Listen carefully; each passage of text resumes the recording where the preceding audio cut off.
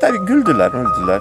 Yani gene hayal kuruyorsun Sevan dediler. Doğrudur, hayal kuruyordu. Ama hayal kurunca bunu gerçekleştirmek lazım. Yani sırf o sırf kurduğun hayali gerçekleştirebileceğini kanıtlamak bile başlı başına çok zevkli bir şey, çok güzel bir şey. Efendim ne kadar kalacaksınız? Bilemiyorum. O kadar çok dava var ki bunların ne şekilde hesaplandığı eee, gerçekten matematikçinin bile için- içinden zor çıkabileceği bir şey. Fakat bir süre içeride kalacağım anlaşıldı.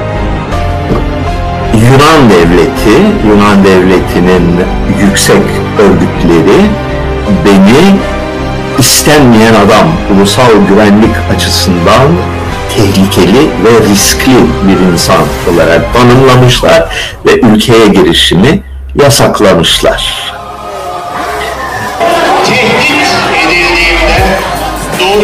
Budur. Bundan böyle korkuya gelemezsin diyen bir takım terbiyesiz ve küstah insanlara karşı sinir veririm dedim.